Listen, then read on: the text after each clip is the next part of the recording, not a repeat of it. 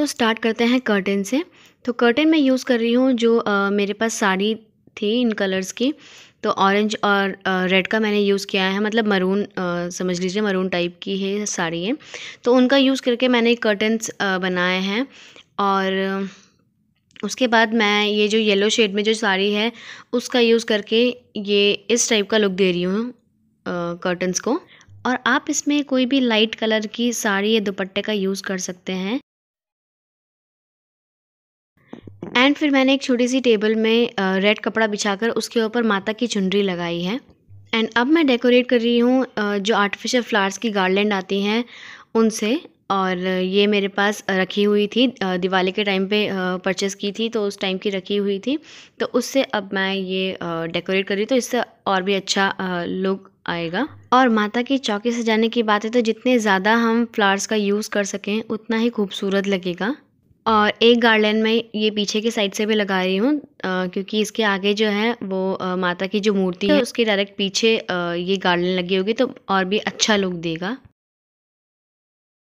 तो अब मैं कलश में कुछ मैंगो लीव्स रख के उसमें ये सीरफल रख रही हूँ तो ये भी काफ़ी ऑस्पिशियस माना जाता है।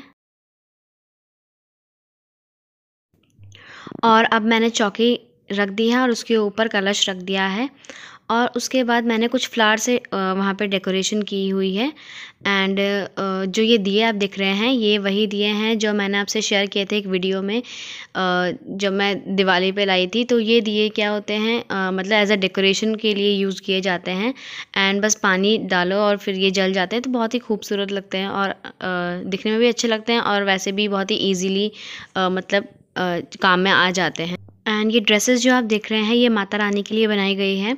तो जब मूर्ति हम रखेंगे यहाँ पे तो तभी ये ड्रेस भी बनाया जाएगी। और इस ड्रेस मतलब ये किस तरह से बनी है ये देखने के लिए आ, आप मेरी मदर इन लॉ का जो चैनल है आ, कांति नोटियाल नाम से उनके चैनल में जाके आप देख सकते हैं कि कैसे किस तरह से ये ड्रेस बनाई गई है। तो जैसा कि आप देख सकते हैं कि बिल्कुल ज़ीरो बजट में और मतलब सारा घर पे ही था कुछ भी आ, मतलब मैं ऐसे लाई नहीं हूँ।